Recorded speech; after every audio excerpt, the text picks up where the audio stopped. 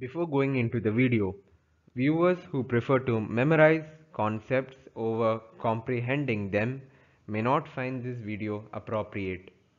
In this video, we will be understanding Mendel's contrasting traits. At the end of the video, we will understand why certain traits are dominant and why certain traits are recessive in the seven contrasting traits of Mendel's experiment.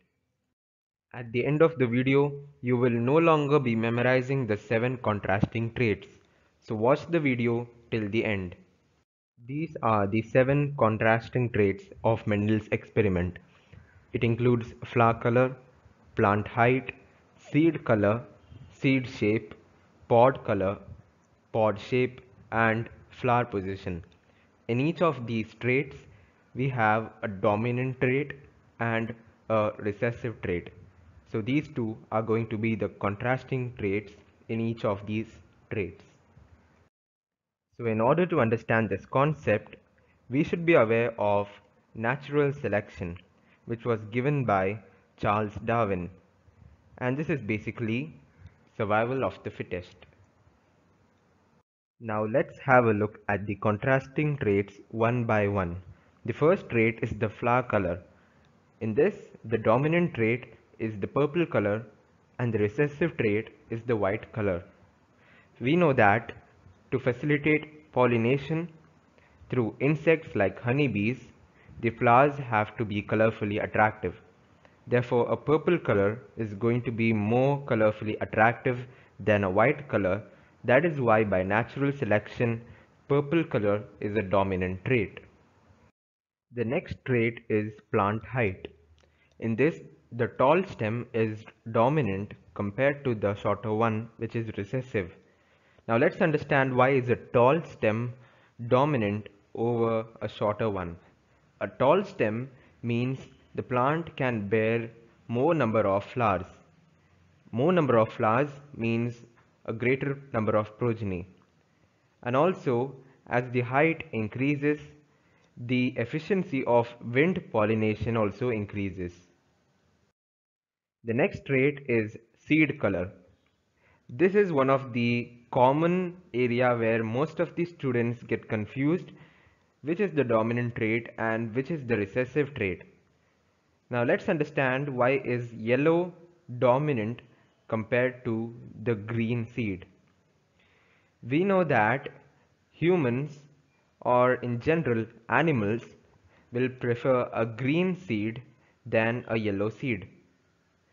So, in order to prevent predation, natural selection has selected out yellow as the dominant color compared to the green seed. The next trait is seed shape. The round seed is dominant compared to the wrinkled one. Now let us consider this scenario. If the seed is removed from the pod it will obviously roll down the hill or in fact the soil. Now if a seed has to roll down, it has to be perfectly round. So the more round the seed is, the more distance it can move and the more efficient is the seed growth. So a wrinkled seed will not be able to move such a farther distance. So that's why round seed is dominant compared to the wrinkled one. So the next trait is pod color.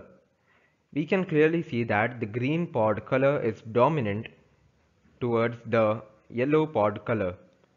Now why is green pod color dominant and why not a green seed color?